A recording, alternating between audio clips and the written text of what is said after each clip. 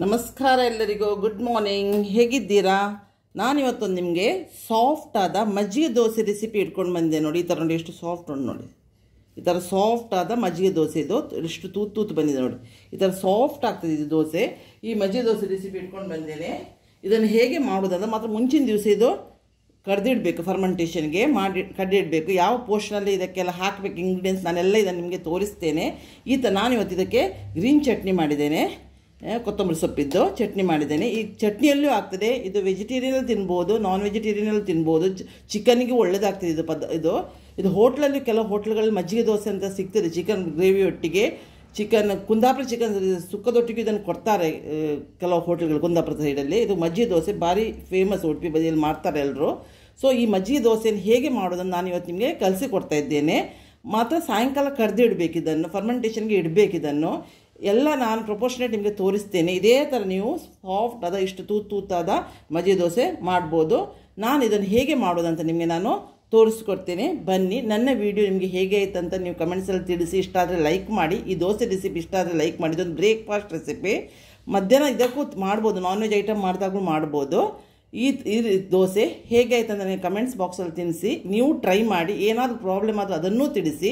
ನಾನೀಗ ನಿಮಗೆ ಮಜ್ಜಿಗೆ ದೋಸೆ ಹೇಗೆ ಮಾಡೋದಂತ ಇದು ಕ್ಲೀನ್ ಎಷ್ಟೆಷ್ಟು ಇಂಗ್ರೀಡಿಯೆಂಟ್ಸ್ ಹಾಕಬೇಕು ಅದನ್ನೆಲ್ಲ ತೋರಿಸಿ, ಇದು ರಿಕ್ವೆಸ್ಟೆಡ್ ವಿಡಿಯೋ ಸೊ ಅವರು ನೋಡ್ತಾರೆ ಇದನ್ನು ಅದಕ್ಕಾಗಿಗೆ ಈಗ ನಾನು ಮಜ್ಜಿಗೆ ದೋಸೆ ಮಾಡ್ತಾ ಇದ್ದೇನೆ. ನಾನೀಗ ನಿಮಗೆ ಫಸ್ಟಿಗೆ ಹೇಗೆಲ್ಲ ನೆನೆಸಿಡ್ಬೇಕು ಅಕ್ಕಿಯನ್ನು, ಹೇಗೆ ರುಬ್ಬಬೇಕು ಆನಂತರ ಹೇಗೆ ದೋಸೆ ಮಾಡಬೇಕು, ಎಲ್ಲ ವಿಶ್ ವಿಧಾನವನ್ನು ನಿಮಗೆ ತೋರಿಸಿಕೊಡ್ತೇನೆ ಬನ್ನಿ, ನೋಡುವ. ನಾನೀಗ ನಿಮಗೆ ಒಂದು ದೋಸೆ ರೆಸಿಪಿ ಮಜ್ಜಿಗೆ ದೋಸೆ ರೆಸಿಪಿ ಹೇಗೆ ಮಾಡೋದನ್ನು ನಾನು ನಿಮಗೆ ತೋರಿಸಿಕೊಡ್ತೇನೆ. ಇದನ್ನು ಮುಂಚಿನ ದಿವಸ ಸಾಯಂಕಾಲ ಕಡ್ದಿಡಬೇಕು. ಈಗ ನನಗೆ time six o'clock six to six thirty ಅಷ್ಟಿಗೆ ನಾನು ಕಡ್ದಿಟ್ಟಿದ್ದೇನೆ. ನಾಳೆ ಬೆಳಗಾತ ಏಯ್ಟ್ ಓ ಕ್ಲಾಕಿಗೆ ನಾನು ದೋಸೆ ಮಾಡ್ತೇನೆ. ಫರ್ಮೆಂಟೇಷನ್ಗೆ ಇಡಬೇಕು ಈ ದೋಸೆಯನ್ನು. ಇದು ಮಜ್ಜಿಗೆ ದೋಸೆ ಅಂತ ನಮಗೆ ಹೇಳ್ತದೆ. ನಾನು ನನ್ನ ಅತ್ತೆಯಿಂದ ಕಲ್ತದ್ದು ಈ ರೆಸಿಪಿ ತುಳುವಿನಲ್ಲಿ ಅಳತೆ ದೋಸೆ ಅಂತಲೂ ಹೇಳ್ತಾರೆ. ಕನ್ನಡದಲ್ಲಿ ಮಜ್ಜಿಗೆ ದೋಸೆ ಅಂತ ಹೇಳ್ತಾರೆ. ಇದಕ್ಕೆ ಬೇಕಾಗುವ ಸಾಮಾನು ನಾನೊಂದು ಮುಕ್ಕಾಲು ಕೆ ಜಿ ಆಗುವಷ್ಟು ದೋಸೆ ರೈಸನ್ನು ನಾಲ್ಕು ಗಂಟೆ ನೆನೆಸಿಟ್ಟಿದ್ದೇನೆ ಈಗ ತೊಳೆದು ತಂದಿದ್ದೇನೆ. ಇದಕ್ಕೆ ಯಾವ ಲೋಟ, ಇದರಲ್ಲಿ ನಾನು ಮೂರು ಲೋಟ ರೈಸ್ ಹಾಕಿದ್ದೇನೆ. ಅಂದರೆ ಮುಕ್ಕಾಲು ಕೆ ಜಿ. ಒಂದು ಲೋಟ ಅವಲಕ್ಕಿ ಹಾಕ್ತೇನೆ. ಒಂದು ಲೋಟ ಕುಚ್ಚಿ ಅಕ್ಕಿ ಅನ್ನ ಹಾಕ್ತೇನೆ. ಅನ್ನವನ್ನು ಬಾಗಿ ತಂದಿದ್ದೇನೆ. ಕುಚ್ಚಿ ಅಕ್ಕಿ ಅನ್ನ ಹಾಕ್ತಾರೆ, ವೈಟ್ ರೈಸ್ ಯೂಸ್ ಮಾಡಿ ವೈಟ್ ರೈಸು ಆಗ್ತದೆ ಒಂದು ಆರು ಟೇಬಲ್ ಸ್ಪೂನಷ್ಟು ಮೊಸರು ತಂದಿದ್ದೇನೆ ನಾನು ಇದರಲ್ಲಿ. ಇದಿಷ್ಟನ್ನು ನಾವು ನುಣ್ಣಗೆ ಅರ್ದು ಕಲಸಿ, ದೋಸೆ ಹಿಟ್ಟಿನಷ್ಟು ಅದಕ್ಕೆ ಕಲಸಿ ಇಡಬೇಕು. ನಾಳೆ ಬೆಳಗ್ಗೆ ಅದು ಫರ್ಮೆಂಟೇಷನ್ ಆಗಿ ಒಳ್ಳೆ ಸಾಫ್ಟ್ ಆಗ್ತದೆ. ಈ ದೋಸೆಯಲ್ಲಿ ನಾನ್ ವೆಜ್ ಐಟಮು ತಿನ್ನಲಿಕ್ಕಾಗ್ತದೆ ದೋಸೆಗೆ ಹೋಟ್ಲಲ್ಲಿ ಕೆಲವು ಕಡೆ ಹೋಟ್ಲಲ್ಲಿ ಮಜ್ಜಿಗೆ ದೋಸೆ ಅಂತ ಕುಂದಾಪುರದಲ್ಲಿಂದ ಬಣ್ಸ್ ಇದುಂಟು. ಅಲ್ಲಿ ಕೆಲವು ಹೋಟ್ಲ್ಗಳಲ್ಲಿ ಇದು ಮಜ್ಜಿಗೆ ದೋಸೆ ಅಂತ ಒಳ್ಳೆ ದೋಸೆಯು ಕೊಡ್ತಾರೆ. ಈ ಮಜ್ಜಿಗೆ ದೋಸೆ ಕಾಲು ಚಿಕನ್ ಐಟಮ್ಗೆ ಒಳ್ಳೆಯದಾಗ್ತದೆ ಆ್ಯಕ್ಚುಲಿ ಚಿಕನ್ ಗ್ರೇವಿ ಮತ್ತು ಕುಂದಾಪುರ ಚಿಕನ್ಗೆಲ್ಲ ಇದು ಒಳ್ಳೆಯದಾಗ್ತದೆ ಮತ್ತು ನಾನು ನಿಮಗೆ ಇದಕ್ಕಿಂತ ಮೊದಲು ಬಟಾಟೆ ಗಶಿ ಮತ್ತು ಆನಿಯನ್ ರಸ ಗ್ರೇವಿಯೊಂದು ಮಾಡಿದ್ದೇನೆ. ಅದನ್ನು ನೀವು ನೋಡಿ, ಆ ಲಿಂಕನ್ನು ನೋಡಿ. ಅಲ್ಲಿಯೂ, ಅದರಲ್ಲಿಯೂ ಇದು ತಿನ್ನಲಿಕ್ಕೆ ವೆಜ್ಜಿನವರಿಗೆ ಆ ಗ್ರೇವಿಯಲ್ಲಿ ತಿನ್ನಲಿಕ್ಕೆ ಒಳ್ಳೆಯದಾಗ್ತದೆ ನಾನು ಚಿಕನ್ ಗ್ರೇವಿಯೂ ಹಾಕಿದ್ದೇನೆ. ಅದರಲ್ಲೂ ಮತ್ತು ಕುಂದಾಪುರ ಚಿಕನ್ ತಿನ್ನಲಿಕ್ಕೆ ಈ ದೋಸೆ ಒಳ್ಳೆಯದಾಗ ಚಟ್ನಿ ಹಾಕಿಯೂ ತಿನ್ಬೋದು ತಿನ್ನಬಾರ್ದಂತ ಏನೂ ಇಲ್ಲ. ಚಟ್ನಿಯಲ್ಲಿಯೂ ತಿನ್ಬೋದು. ಬಟ್ ಈಗ ನಾನು ಈ ದೋಸೆಯನ್ನು ಈಗ ಮಿಕ್ಸಿಗೆ ಹಾಕಿ, ನುಣ್ಣಗೆ ಅರ್ಧ ಅರಿಬೇಕು ಮಾತ್ರ. ಅದು ನೆನ್ಪಿಟ್ಕೊಳ್ಳಿ. ಇದನ್ನೆಲ್ಲ ಹಾಕಿ, ಅವಲಕ್ಕಿಯನ್ನು ತೊಳೆದು ಕಡಿಲಿಕ್ಕೆ ಹಾಕಬೇಕು, ಅವಲಕ್ಕಿಯನ್ನು ತೊಳೆದು ಹಾಕಬೇಕು ಅದು ನೆನ್ಪಿಟ್ಕೊಳ್ಳಿ. ಮತ್ತೇನು ತೊಳಿಲಿಕ್ಕಿಲ್ಲ, ನಾನು ಅಕ್ಕಿ ತೊಳೆದು ತಂದಿದ್ದೇನೆ. ಮೂರು ಲೋಟ ಅಕ್ಕಿ, ಒಂದು ಲೋಟ ಅವಲಕ್ಕಿ, ಒಂದು ಲೋಟ ಕುಚ್ಚಿಗೆ ಅನ್ನ, ಐದರಿಂದ ಆರು ಟೇಬಲ್ ಸ್ಪೂನಷ್ಟು ಕರ್ಡ್. ಇಷ್ಟನ್ನು ಹಾಕಿ ಉಪ್ಪು ಹಾಕೋದಿಲ್ಲ ನಾನೀಗ. ಬೆಳಗಾತ ದೋಸೆ ಹಾಕುವಾಗಲೇ ಉಪ್ಪು ಹಾಕ್ತೇನೆ. ಈ ಥರ ನಾವು ಕಲ್ದು, ಕಡ್ದು ಇಡಬೇಕು ಫರ್ಮೆಂಟೇಷನ್ಗೆ. ಈಗ ನಾನು ರೈಸ್ ಒಂದೊಂದೇ ಐಟಮನ್ನು ಹಾಕಿ ಗ್ರೈಂಡ್ ಮಾಡಿ ತರ್ತೇನೆ. ನೋಡಿ, ಈಗ ದೋಸೆ ಇದನ್ನು ಹಾಕ್ತೇನೆ. ಇದು ಒಂದು ಬ್ಯಾಚಲ್ಲಿ ಆಗೋದಿಲ್ಲ. ಯಾಕಂದರೆ ಮುಕ್ಕಾಲು ಕೆ ಜಿ ರೈಸ್ ಉಂಟು. ಇದು ಮೂರು ಲೋಟ ರೈಸ್ ಉಂಟಲ್ಲ. ಇದು ಒಮ್ಮೆಲೆ ಆಗಲಿಕ್ಕಿಲ್ಲ. ನಾನು ಎರಡು ಬ್ಯಾಚ್ ಮಾಡಿ ಕಡಿತೇನೆ. ನುಣ್ಣಗೆ ಅರಿಬೇಕಲ್ಲ ನಮಗೆ. ಸೊ ಅದಕ್ಕೆ ನಾನು ಎರಡು ಬ್ಯಾಚ್ ಮಾಡಿ ಕಡಿತೇನೆ. ಈಗ ನೋಡಿ, ಇಷ್ಟು ಅಕ್ಕಿ ಹಾಕಿದೆ. ಅರ್ಧ ಅಕ್ಕಿ ಅಷ್ಟು ಇಟ್ಕೊಂಡೆ ನಾನು ಸೆಕೆಂಡ್ ಬ್ಯಾಚಿಗೆ ಈಗ ಈ ರೈಸನ್ನು ಹಾಕ್ತೇನೆ. ನಾನು ಆ್ಯಕ್ಚುಲಿ ಒಂದು ಮೆಜರ್ಮೆಂಟ್ ನಾನು ಏನು ಮಾಡೋದಿಲ್ಲ. ನಾನು ನನ್ನ ಕಣ್ಣಳತೆಯಲ್ಲಿ ಮಾಡೋದು. ಸ್ವಲ್ಪ ಅಕ್ಕಿ ಉಳಿದಿದೆ ಒಂದು ಲೋಟೆಯಲ್ಲಿ. ಅದನ್ನು ಇದಕ್ಕೆ ಹಾಕ್ತೇನೆ.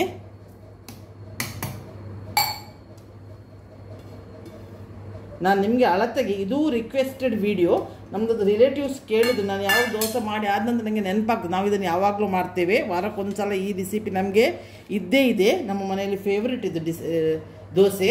ಯಾವಾಗಲೂ ಮಾಡ್ತೇವೆ. ಸೊ ಈಗ ನಾನು ಇದನ್ನು ಕರ್ಡ್ ಹಾಕಿ ಕಡಿತೇನೆ. ಎಲ್ಲ ಹಾಕಿಯೇ ಕಡಿಯೋದು ಈಗ ನೀರಿನ ಬದಲು ಇದನ್ನು ಈ ಬ್ಯಾಚನ್ನು ನಾನು ಕರ್ಡಲ್ಲಿ ಕಡಿತೇನೆ. ಇನ್ನೊಂದು ಸಲ ನೀರು ಹಾಕಿ, ಇನ್ನು ನಾನು ಹಾಕೋದು ಈ ರೈಸ್ ಹಾಕ್ತೇನೆ. ಮತ್ತು ಅವಲಕ್ಕಿಯನ್ನು ತೊಳೆದು ಹಾಕಿ, ನೀರು ಹಾಕಿ, ದಪ್ಪಕ್ಕೆ ಹದ, ದೋಸೆ ಹಿಟ್ಟಿಗೆ ಹದಕ್ಕೆ ಕಡ್ದಿಡಬೇಕು ತೋರಿಸ್ತೇನೆ ನಾನು ನಿಮಗೀಗ. ಈಗ ನೋಡಿ, ಈ ಥರ ನಾನು ನುಣ್ಣಗೆ ಅರ್ದು ತಂದಿದ್ದೇನೆ. ಇದು ಮಿಕ್ಸಿಯಲ್ಲಿ ಕಡಿ ನೀವು ಗ್ರೈಂಡರಲ್ಲಿ ಕಡಿಮೆ ನೋಡಿ ದಪ್ಪ ನೋಡಿ ಹಿಟ್ಟು, ಈ ಥರ ಮಿಕ್ಸಿಯಲ್ಲಿ ಕಡಿಯೋದಕ್ಕೆ ಅಂತ ನೀವು ಕೇಳ್ಬೋದು. ಮಿಕ್ಸಿಯಲ್ಲಿ ಕರೆದ ಕೂಡಲೇ ಎಂತ ಆಗ್ತದೆ ಅಂದರೆ ಬಿಸಿ ಆಗ್ತದೆ. ಅದರಿಂದಾಗಿ ಬೇಗ ಫರ್ಮೆಂಟೇಷನ್ಗೆ ನಮಗೆ ಸ್ವಲ್ಪ ಹೆಲ್ಪ್ ಆಗ್ತದೆ. ಇಲ್ಲಿಗೆ ಉಡುಪಿ ಬದಿಯಲ್ಲಿ ಈಗ ಸೆಕೆ ಉಂಟು. ಫರ್ಮೆಂಟೇಷನ್ಗೆ ಏನು ಪ್ರಾಬ್ಲಮ್ ಇಲ್ಲ. ಹೇಳಿದ್ದು ನಾನು, ಚಳಿ ಟೈಮಲ್ಲಿ ನಾವು ಮಿಕ್ಸಿಯಲ್ಲಿ ಕಡಿದ್ರೆ ಉಂಟಲ್ಲ ಗ್ರೈಂಡರ್ಗೂ ಹಾಕ್ಬೋದು, ಹಾಕ್ಬಾರ್ದು ಅಂತ ಏನಿಲ್ಲ?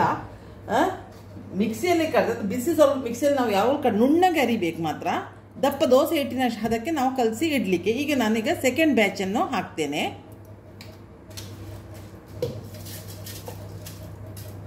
ಈಗ ಇದಕ್ಕೆ ನಾನು ಈ ಬ್ಯಾಚಿಗೆ ಹಾಕುವಾಗ ಅವಲಕ್ಕಿಯನ್ನು ತೊಳೆದು ಹಾಕಿ ರುಬ್ಬಿ ತರ್ತೇನೆ ಇದನ್ನು.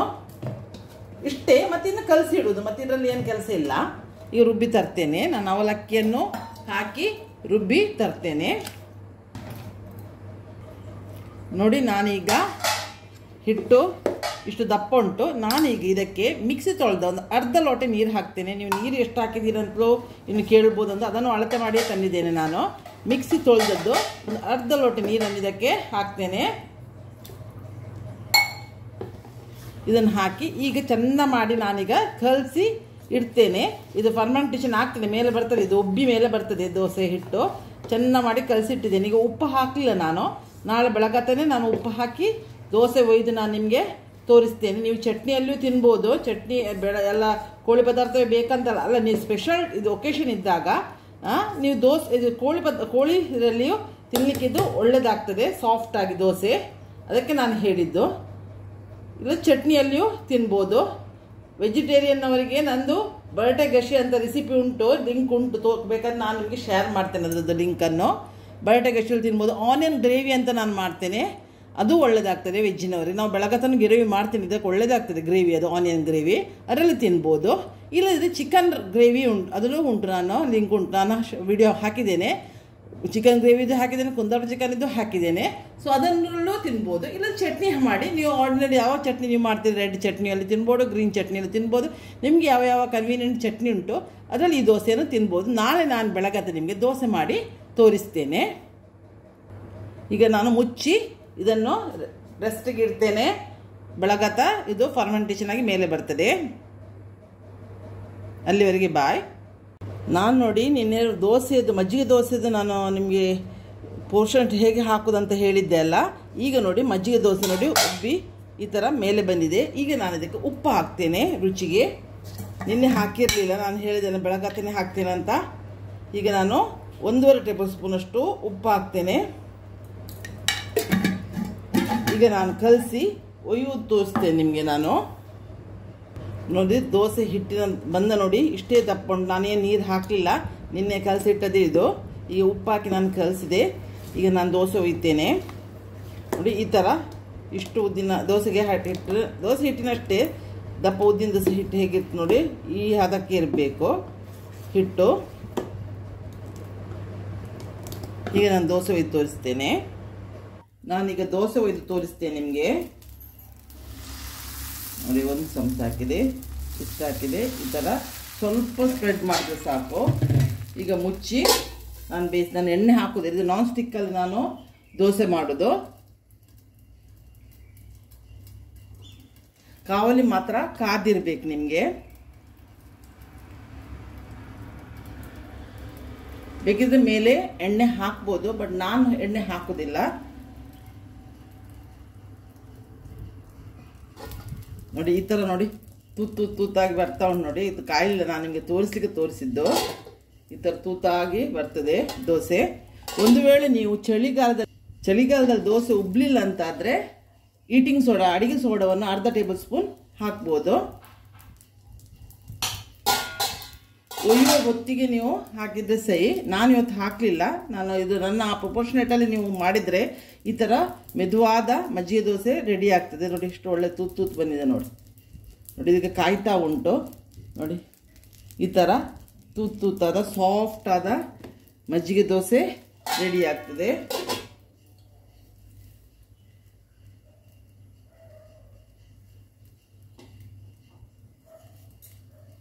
ನೋಡಿ ಇದು ಕಾಯಿತು. ಈಗ ತೆಗಿತೀನಿ. ನೋಡಿ ಒಳಗೆ ಈ ಥರ ಸಾಫ್ಟ್ ಆಗ್ತದೆ.